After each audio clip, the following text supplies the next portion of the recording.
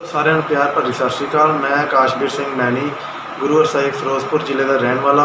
ਬੀਤੇ ਦਿਨੀ ਪੀਏਯੂ ਲੁਧਿਆਣਾ ਵਿੱਚ ਕਾਉਂਸਲਿੰਗ ਹੋਈ, ਜਿਸ ਵਿੱਚ ਮੇਰਾ ਬਹੁਤ ਚੰਗਾ ਰੈਂਕ ਰਿਹਾ ਤੇ ਮੈਨੂੰ ਬੀਐਸਸੀ ਆਨਰਸ ਹਾਰਟੀਕਲਚਰ ਵਿੱਚ ਸੀਟ ਮਿਲ ਗਈ, ਜੋ ਕਿ ਸਿਰਫ ਸਨੀ ਕੋਚਿੰਗ ਕਲਾਸਿਸ ਦੇ ਕਾਰਨ ਹੈ। ਇਹਨਾਂ ਨੇ ਮੇਰਾ ਮਹੀਨੇ ਤੋਂ ਵੀ ਘੱਟ ਸਮਾਂ ਬਹੁਤ ਚੰਗੀ ਤਰ੍ਹਾਂ ਯੂਟਿਲਾਈਜ਼ ਕੀਤਾ ਤੇ ਇਹਨਾਂ ਨੇ 7 ਤੋਂ 8 ਘੰਟੇ ਦੀ ਆਨਲਾਈਨ ਕਲਾਸਿਸ ਲਗਾ ਕੇ ਜ਼ਰੂਰੀ ਕੁਐਸਚਨ ਕਰਵਾ ਕੇ ਅਤੇ ਹੋਰ ਕਈ ਬੇਸਿਕ ਕਨਸੈਪਟ ਮੇਰੇ ਕਲੀਅਰ ਕਰਕੇ ਬਹੁਤ ਚੰਗੀ ਤਰ੍ਹਾਂ ਤਿਆਰੀ ਕਰਵਾਈ, ਜਿਸ ਦਾ ਨਤੀਜਾ ਬਹੁਤ ਵਧੀਆ ਰਿਹਾ। ਤੇ ਮੈਂ ਸਨੀ ਕੋਚਿੰਗ ਕਲਾਸਿਸ ਦਾ ਤਹਿ ਦਿਲੋਂ ਧੰਨਵਾਦ ਕਰਨਾ ਚਾਹੁੰਦਾ ਹਾਂ। ਧੰਨਵਾਦ।